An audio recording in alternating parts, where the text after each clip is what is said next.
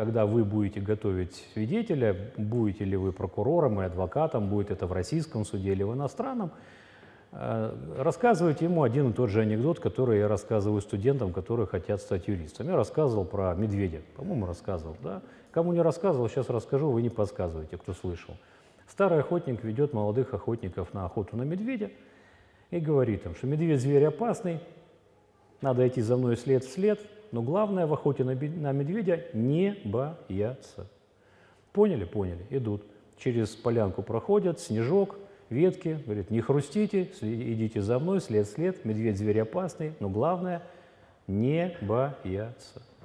Заходят в лес, э, берлога, он показывает, вот берлога, медведь зверь опасный, вы главное что? Не бояться должны. Я залезаю сверху, рогатины ширяют вниз туда, медведь просыпается, выскакивает, а вы стоите вокруг и понимаете, что главное не бояться. И когда он выскочит на вас, вы должны забросить его дерьмом. Вопросы.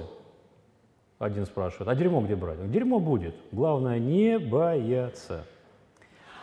Так вот, когда свидетелей будете готовить, а я готовил, помню, свидетеля, боевой летчик, летчик-снайпер на МиГ-29, что ли, такой полковник целый, генеральным директором фирмы он вдруг стал, когда вышел в отставку, и мы пошли судиться в арбитражный суд, и он стоит перед, э, за, это, перед дверью судебного заседания и трясется буквально.